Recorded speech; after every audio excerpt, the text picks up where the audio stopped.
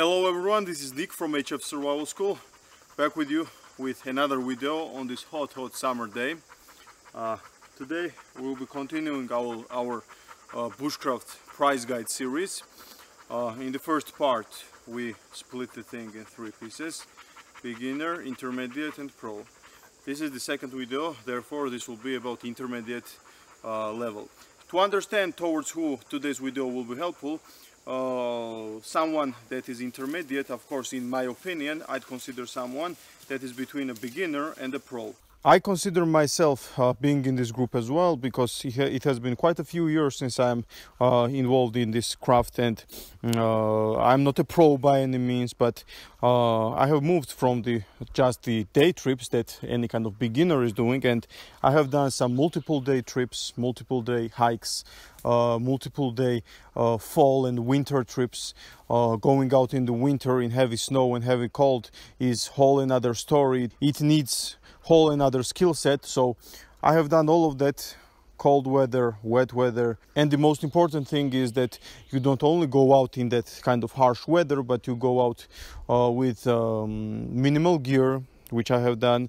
Uh, it was not uh, the most comfortable trips by any mean. Many times you have seen me freeze in winter by not having proper gear, but not having proper gear never hold me back. And even though I came quite close to losing my toes one time when I went in minus 20 Celsius uh, weather uh, with my Wellington boots, uh, nevertheless, it was a great experience and uh, that's how you get a thicker skin and that's how uh, you evolve and get better and better at something. So today I will be aiming towards uh, this group and all of the gear which I will mention are just my thoughts and based on my experience and uh, my skills out in the field. Me and the dogs catch the breath. We stopped at this uh, survival shelter that uh, I built uh, this winter. I will link the uh, video down in description. Uh, me and Rocco stayed here with three tools. I, as I remember, it was an axe, it was a ferro rod and a mylar blanket. So we stayed at night here with just three tools. So it is a very interesting video and you should definitely check it out. So without further ado, let's move on and uh, hike up at our secret shelter, secret shelter and I will show you all of the gear there.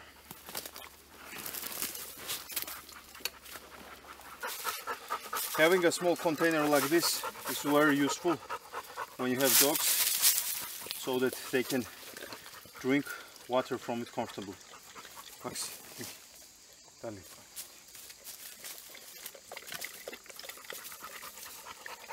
Иди, Макс, дали, дали. Иди.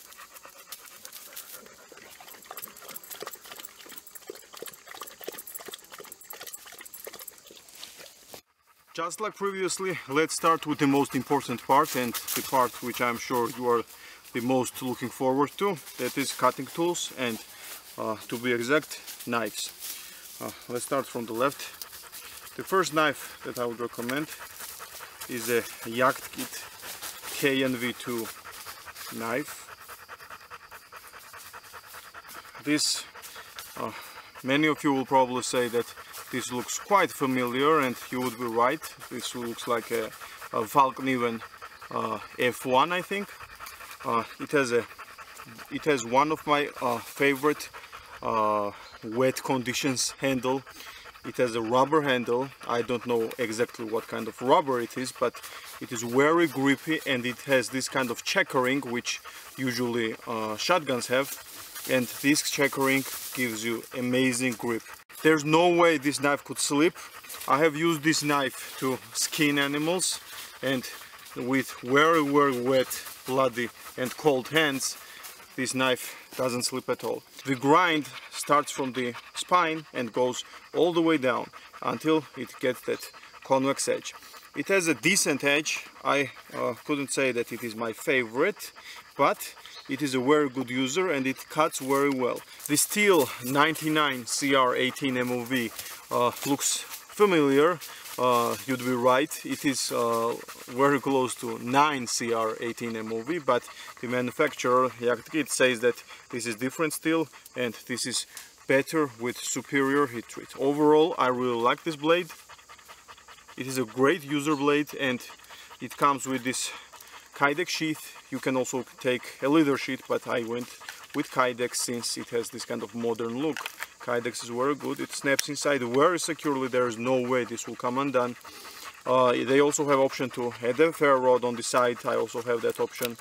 It has a snap, so it is a very secure, very decent, nice uh, blade and nice sheath. So the price of this knife at the point of making this video is $104. That price range is what I think an intermediate bushcrafter should uh, look knives for. Again, you may get away with the $10 Mora, but since you are involving more time and uh, since you are involving uh, more effort, then you deserve a better knife. And the $100 range I think is the perfect price range to get a decent, very nice both with uh, durability and with looks knife. The second knife I will recommend is from Spain, the Cudeman MT5. From my experience, this knife won't win any beauty contests, but that really doesn't matter because it has a great overall feel, it has great build quality, it has a micarta handle, therefore you can use it in very wet conditions and nothing will happen to it. Uh, it is quite thick, therefore you can baton with it, and because it has a full flat grind, it is very good at batoning and splitting wood.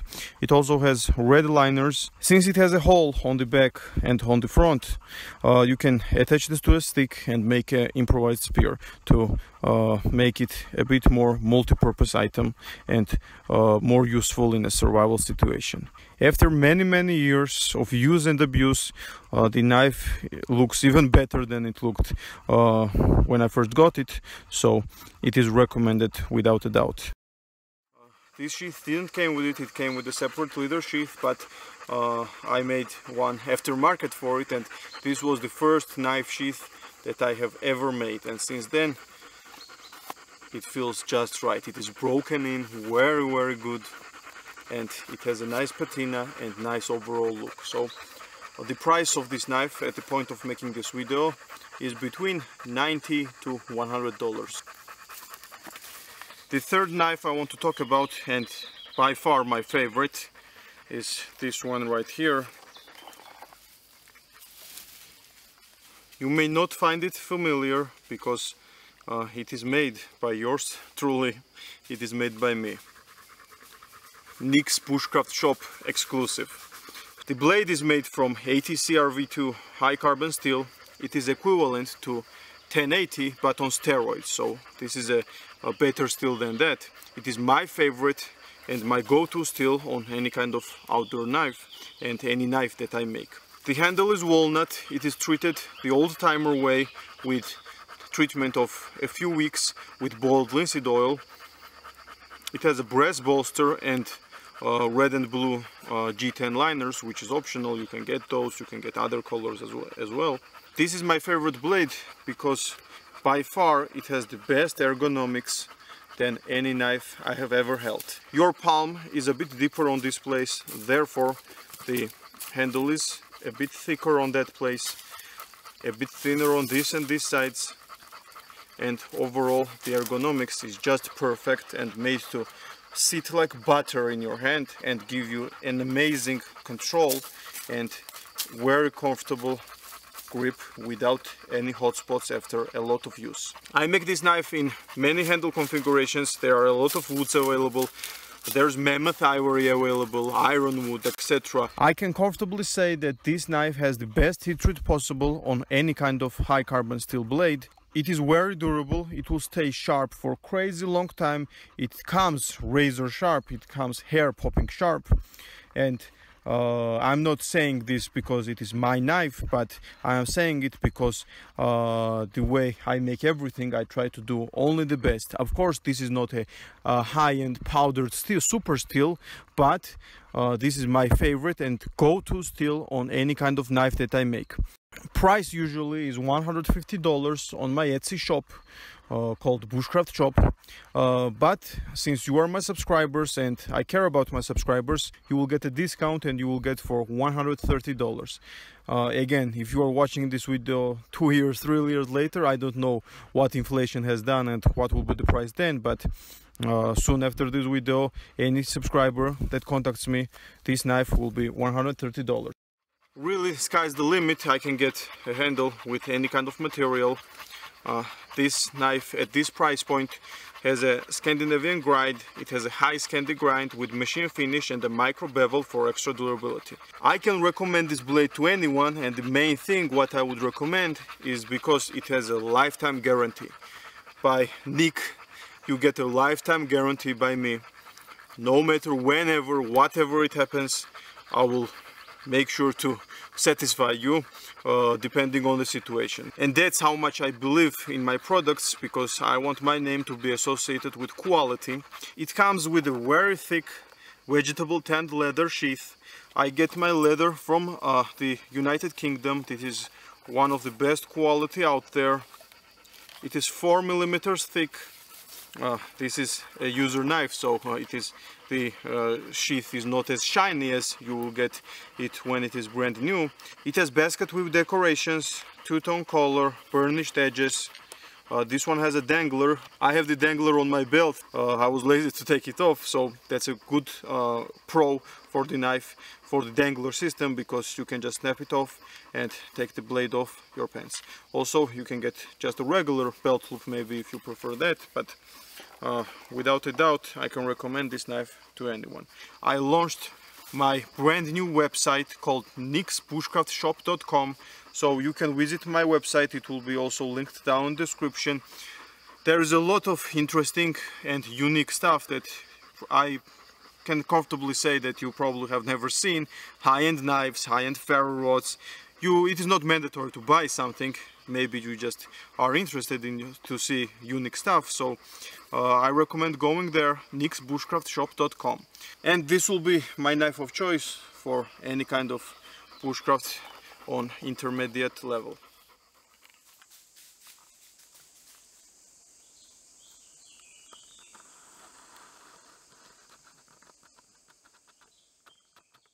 After you have your primary cutting tool cover then you need a way to process firewood.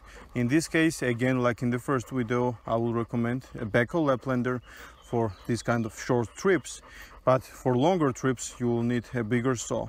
And that's when this thing comes in. I would recommend getting a Bahco Deadwood saw blade.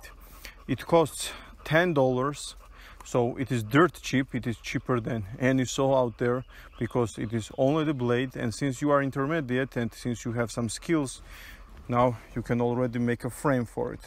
Again there are many frame designs. Uh, I went with this one. This is not my first uh, frame uh, saw. Uh, I have some runes on there which say HF Survival School because you know you have got to have a Viking. You know because if you have a Viking style buck saw then you can cut food twice as fast. So having a saw like this is very useful. I have cut very thick pieces of wood with this. Uh, it has been very helpful on winter trips. And uh, having something like this is very good because it is another another project that you make for yourself and therefore you are being more self-reliant.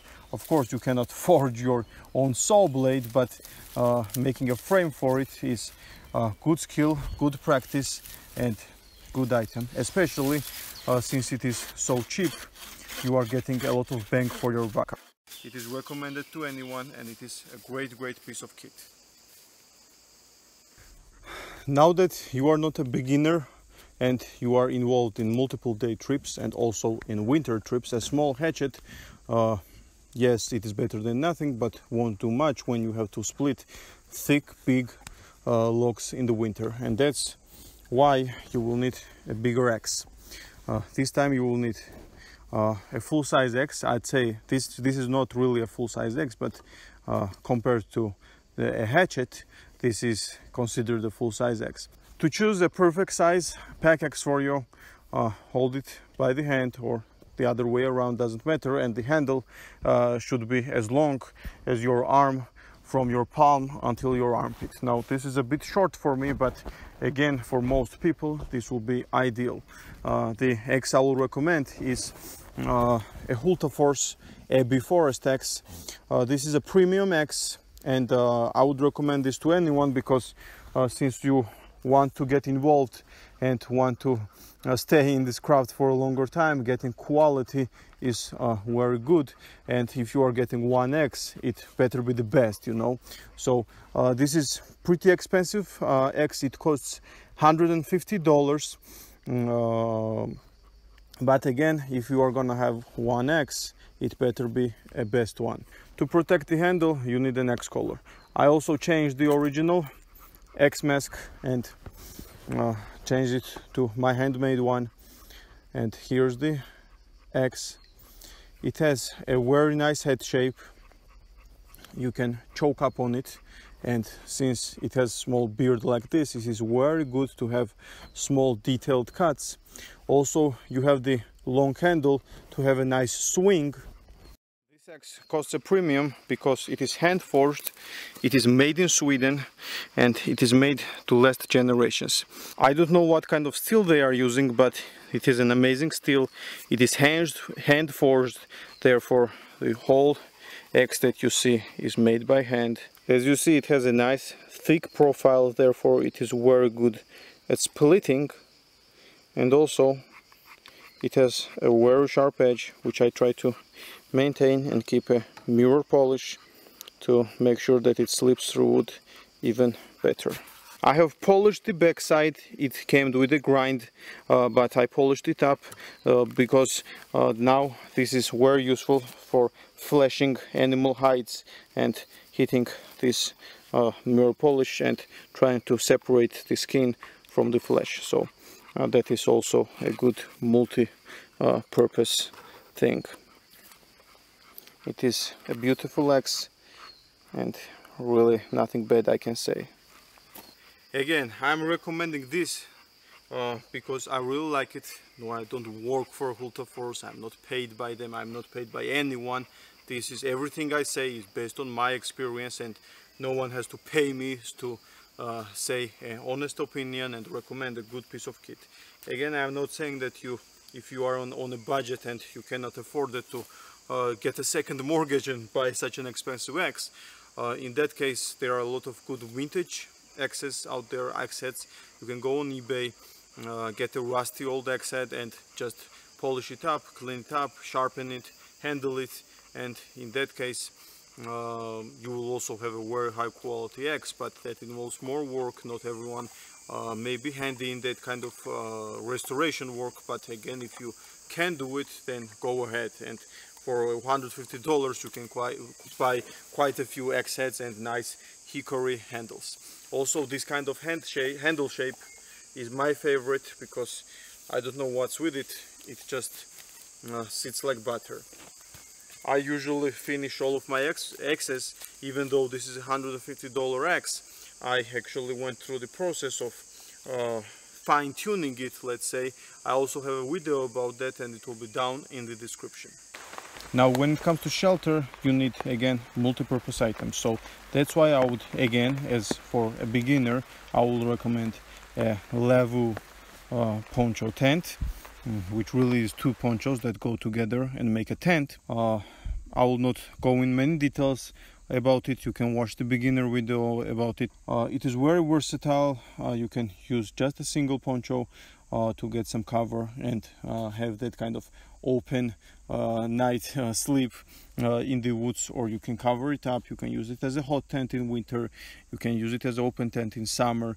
You can use it as a poncho in rain. So it is a very multi-purpose item. The price at the point of making this video is $45 I'd say that uh, that one tent won't be enough. For example if you are uh, going on a uh, hiking trip on a multiple day hiking trip that heavy poncho is not very uh, useful uh, to take. And for that case I will recommend a tarp. So uh, for an intermediate bushcrafter I recommend two shelter options having a Lavvu tent and having a tarp.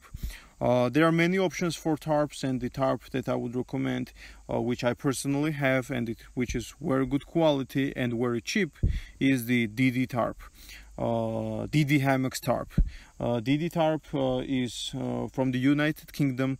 Uh, it is great quality and and the price at the point of making this video is $55 so uh, I, as I remember uh, back when I bought it it was a discount. I think it was a Christmas discount or something like that and I got it for like uh, $35 so it is a very very good bang for your buck and having a tarp is very useful because mm, uh, it is 3 by 3 meters therefore it is quite long it is quite big you can fit two people and dogs under it quite comfortably by having an open shelter. Or you can also configure it in a way that it is a tent uh, as I have done uh, in this case you can also close the door so it is fully covered. So generally speaking it is a great option and uh, having these two shelter options will give you a lot of versatility on any kind of trip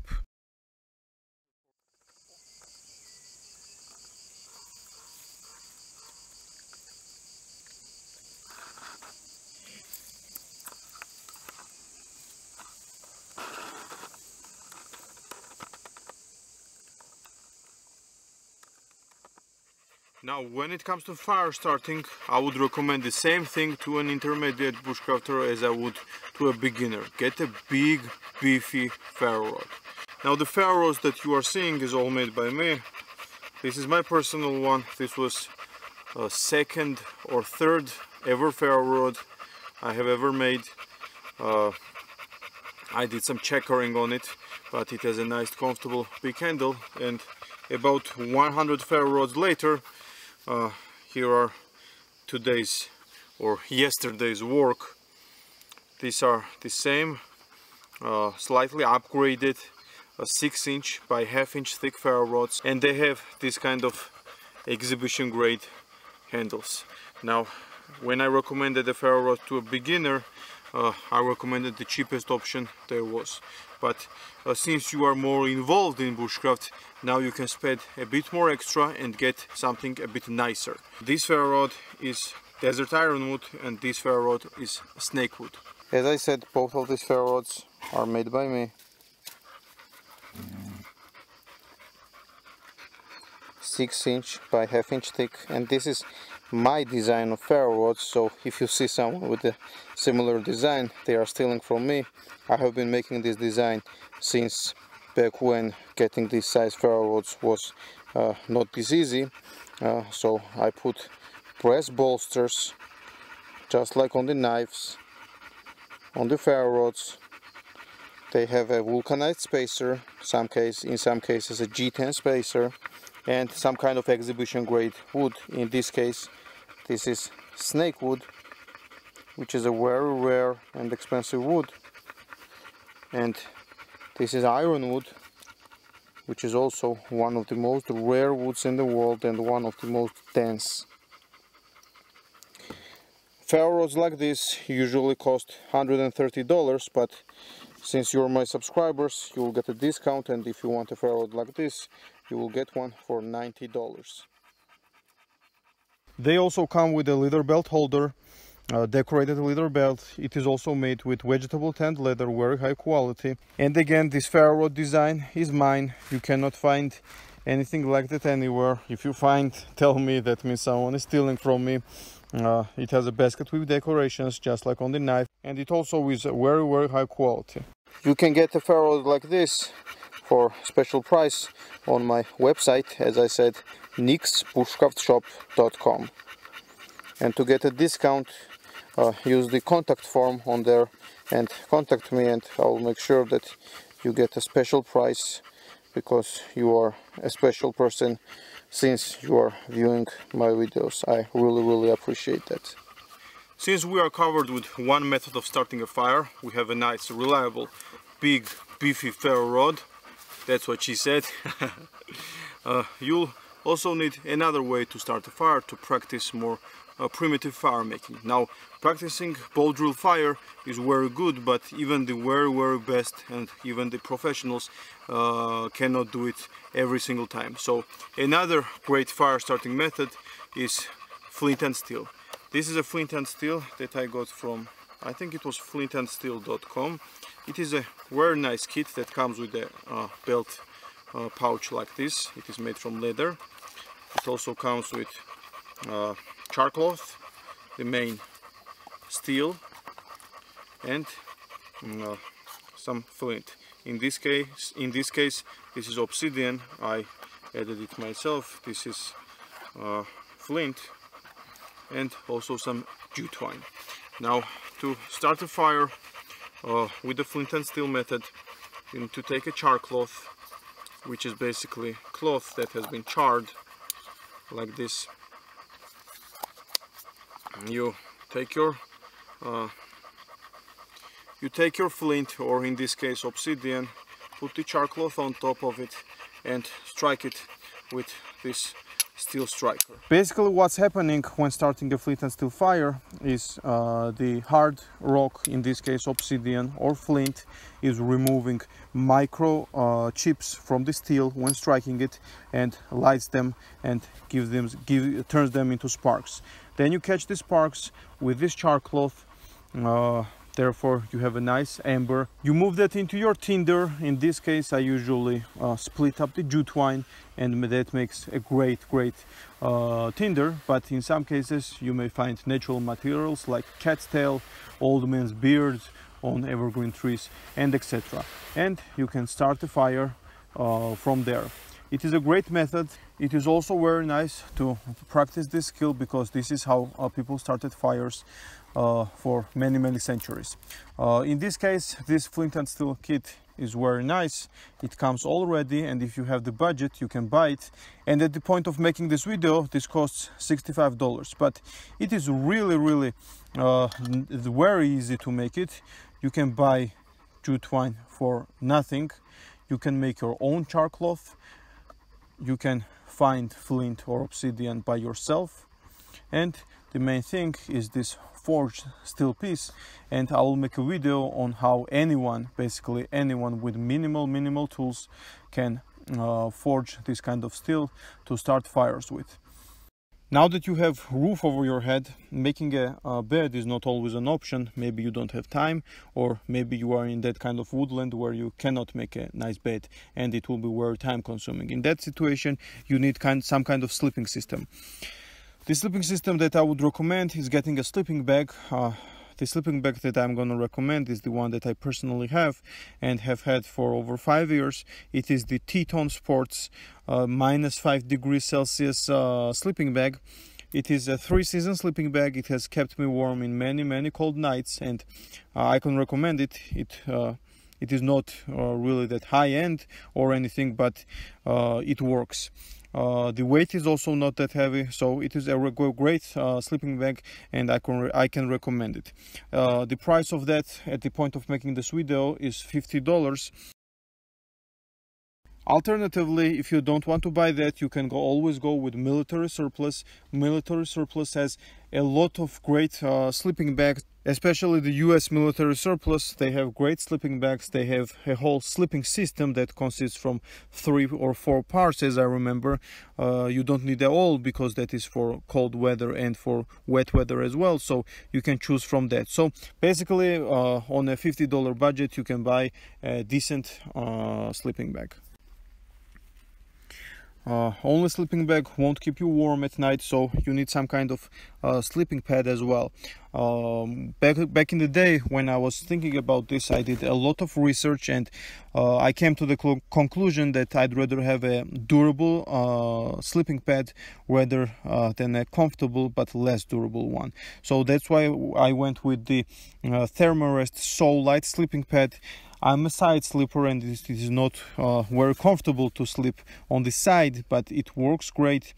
Uh, it reflect it has a reflective coating therefore it reflects heat towards you and uh, it is quite versatile and it doesn't have the option to uh, release air and leave you on cold ground at night which an air mattress uh, has an air mattress is more comfortable but uh, something may uh, poke it and you may end up on cold ground at night. Uh, you can also get a closed open cell cell foam which is that kind of self-inflating cell foams but it is a bit heavy and again even that not always works. Uh, so getting a thermarest RidgeRest is a very very good option. The price of thermarest uh, RidgeRest SOLite uh, at the point of making this video is $50 if you are a side sleeper like me, only a thermarest in winter is not enough and that's why I will recommend the same thing that I recommended to beginners in the previous video and get some kind of hide. For example, a goat's hide or a sheep's hide and something like that usually costs around $15. Well, at least that's what I paid. That I will recommend is some kind of cordage and in this case paracord. It is very tough and that's why uh, it is so good uh, in any kind of outdoor applications, whether it will be uh, making ridge lines for your tarp or tying jam knots uh, or making boats, everything uh, works with paracord.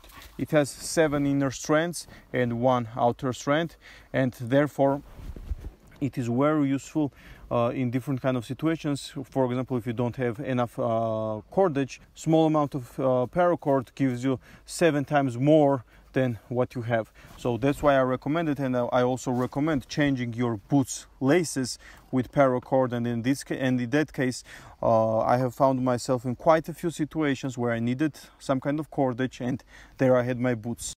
I just removed all of the inner strands, uh, left the outer strand as my boot laces, and used the inside as very useful item uh, out in the woods.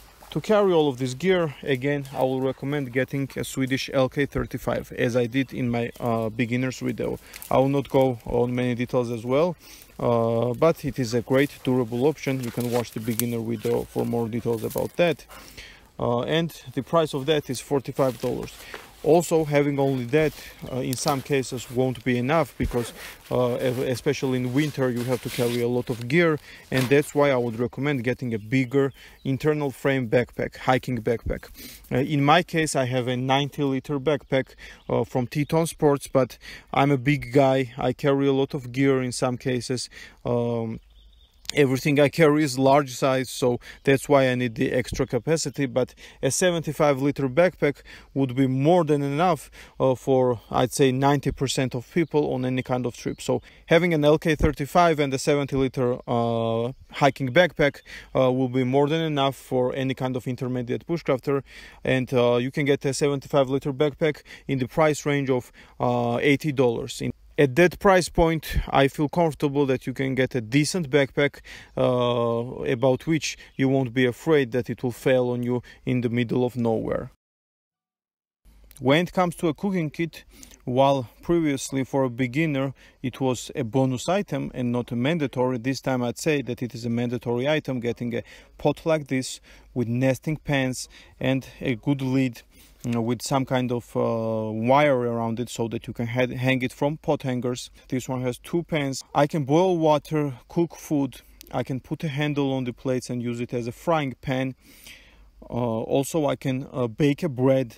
I can bake other things by putting water beneath uh, the one plate and putting whatever I want to bake on top and then putting on the lid. It has to have some kind of option to uh, hang it and uh, this is a must uh, to any kind of intermediate bushcrafter. Also, I would recommend getting a cup, just like I recommended in the first video. Get a canteen cup with a lid. Uh, not always you need a pot, big size pot like this. Some, in some cases, one uh, cup like this will be more than enough. For example, in a, on a backpacking trip or on many other occasions where you don't want to mess with making uh, pot hangers and when you don't have time for that and also I would recommend getting a US military surplus mess kit. It is such a versatile item. I got this from my father. It is at least uh, I don't know I have it for like 15 years. My father had it for like 30 years. It is stainless steel and it is very very versatile. You can use it as a pan to cook food. Uh, you can uh, you can use it as a Dutch oven to bake something inside you can use the other side to split some food and use it as a plate. These three pieces of kit I'd say is a must to any kind of outdoorsman. Also, mm, uh, I would recommend getting a kettle if you are like me and if you really really like tea. Having a kettle is very useful. For example, uh, on a winter trip, on a hot tent trip to uh, boil water on a wood stove, uh, it comes in very handy. Uh, this uh, kettle is made by a company called Uberleben and uh, it is very durable and uh, very comfortable to use.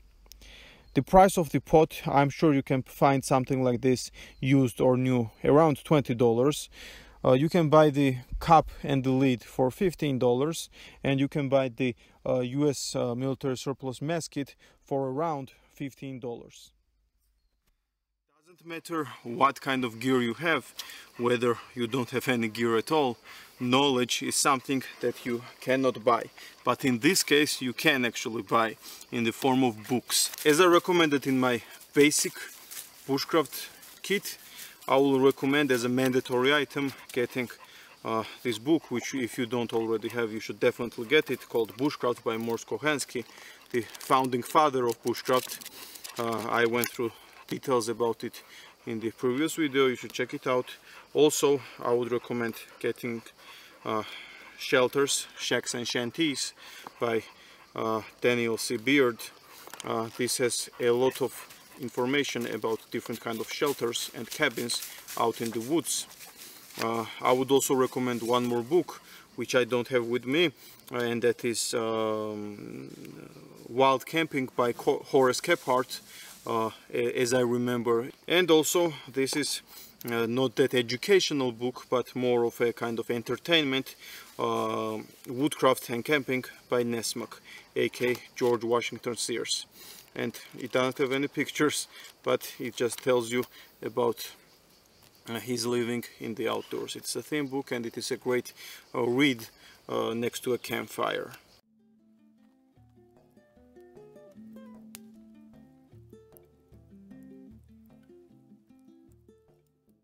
So I'd say these two books are mandatory. At the point of making this video the bushcraft costs $17 and this costs uh, $10 and the more uh, books you can buy the better it is for you in reality. But these two are mandatory for anyone.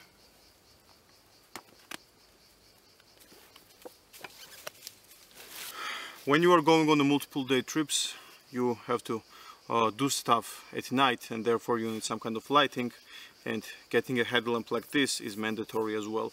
I would recommend getting this ThruNite. I think the model is BSS H01. I will link it down in description. It costs $30 and it is a great, very reliable uh, flashlight because I have tested it a lot. I have tested in uh, winter and in cold environments and it worked very good.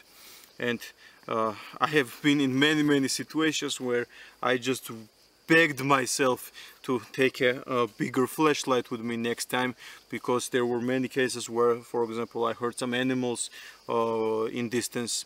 I heard some um, uh, I saw some animals nearby.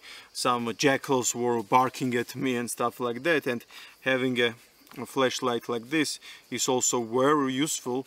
And um, this one has uh, quite a few functions and the main thing is that it has a turbo mode which blinds whatever you light it to for a few seconds. It also has this kind of aggressive uh, teeth on front so that you can use it as self-protection item, uh, self-defense item, but you can also screw it off if you are not using it as an EDC flashlight and just use it like this very useful flashlight and again this one is also tested and it has uh, proved itself uh, very good in many many situations. Next mandatory item I would recommend is getting a water filter. Now, if in a basic video I mentioned a water filter as a bonus item, in this case it is a mandatory item because uh, even though where I live we are blessed with a lot of springs and every spring I'd say 99% of the springs are drinkable, especially in the mountains. But even in that case it is sometimes hard to afford uh, to risk drinking uh, spring water uh, while it can ruin your trip and it can, it can ruin your stomach very badly. So another mandatory item is a water filter. In this case, I will recommend a Sawyer water filter, uh, which filters uh, 100,000 gallons of water uh, and it costs $20 therefore it is a very very good bang for your buck and a mandatory item for I'd say most of the people on most places in the world because you cannot afford drinking dirty water especially if you are in deep woods and especially if you are far from the population. Uh, that is pretty much it. Of course, there are a few more mandatory items that I would recommend but I mentioned them in the previous video for example a first aid kit and a few more items so I didn't want to repeat myself and uh, if you missed that you should watch the previous video as well. Link will be down in the description. After this there will be another video about the pro gear that I would recommend. And also after this price guide videos are over I will post videos about what do I think this kind of basic bushcraft trip looks like what do I think about how the intermediate bushcraft trip looks like and also you should definitely check those videos out. If they are out again it will be down in the description. So basically you don't even need to watch this video. Just go down in description because I mentioned that in every second and uh, you will find everything. But uh, in reality uh, I make quite a few interesting and very good videos but the YouTube algorithm doesn't like me that much because I post rarely but even though I post rarely I post good quality content well especially well that's what I think and how I think but you may disagree with that and again uh, I respect your opinion so comment down below your thoughts your recommendations please share this video and make sure to go and visit Nick's Bushcraft shop. I just launched the site today so uh, no one knows about it in this video. You are you guys are the first one who will be visiting it so uh, make sure to go there and if you have any questions use the contact form there and I will get to you right back and I will uh, contact you right back. Whether you have any kind of questions about orders or about knives or generally if you just want to say hi you can use the contact form on nicksbushcraftshop.com so thank you very much for watching and make sure to stay safe this in, in these hard times and may God bless. Take care and have a nice day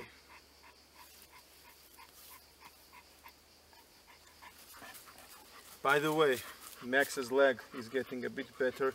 As you saw, he's using it a bit better. But now uh, a, neighbor's dog accidentally bit his balls. So now sadly he cannot uh, swim until the wound is healed. I'm taking him to the vet. I'm thanks. I'm telling you, I don't know who cursed my boy, but some crazy, crazy stuff happens happens to him all the time like last summer uh, two uh, Caucasian shepherds uh, escaped from their owner and beat him and he had like serious wounds that had to be stitched like the whole meat inside was seen and crazy stuff like that. Then he this leg thing then also he always has some problems but thank god he's a tough boy and he survives everything and I hope that he will be with me to many years to come because uh, I love him like my child and he is like my elder child, my firstborn child. Rocco is the small one, the crazy one, and this one is the uh, mature big uh, dog.